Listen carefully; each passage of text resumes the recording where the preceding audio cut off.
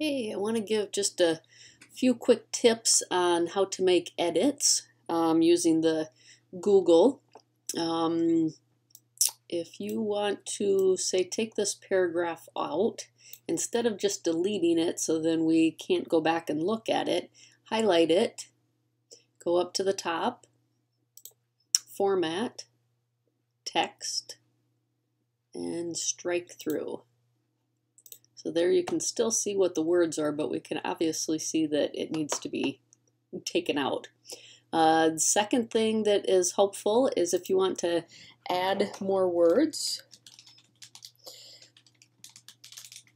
Um, a good way to be able to go back and know where that was is just highlight those words, go up to the top here where it's got the text color, change that to a different color so you know that. And the other piece that's very helpful is to make comments in an area.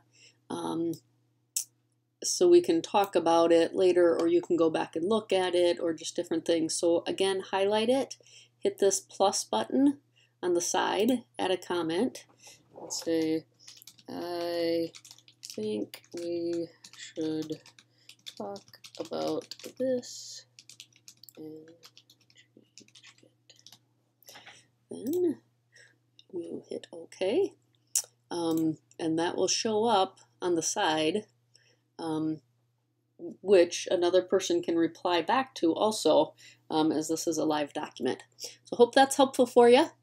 Uh, have a great night. Be well. God bless.